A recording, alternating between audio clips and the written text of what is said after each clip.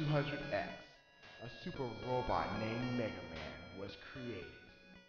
Dr. Light created Mega Man to stop the evil desires of Dr. Wily.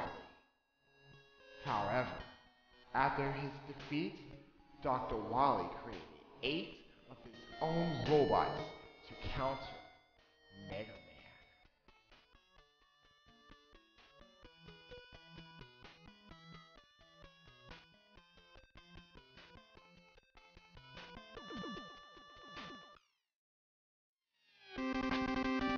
Hello everyone, Chaotix here, and I'd like to welcome you all to my new LP of Mega Man 2, in a series I like to call Retro Takedowns. Now if you don't know what Retro Takedowns is, it's where I go back to old school video games that I used to play as a little kid and revisit them in hopes to defeat them.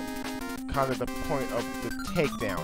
And the story behind Mega Man 2 is, it's a game that I grew up with and love to death. Love everything about this game. But the thing about it is, I've never beaten it. I know, isn't that sad?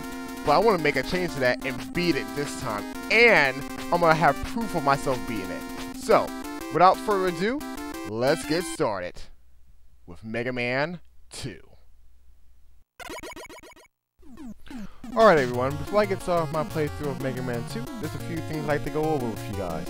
As you can see on the screen, I have a total of 8 Robot Masters to defeat before I can even take on Dr. Wily in his weird area that I'm not going to spoil even though I'm kind of talking about it right now.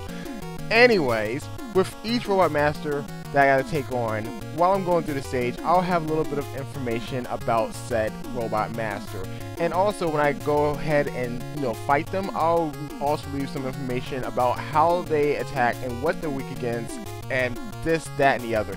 Pretty much helping anyone who's never played this game, all two of you, and, um, leaving you guys at least a little bit of information.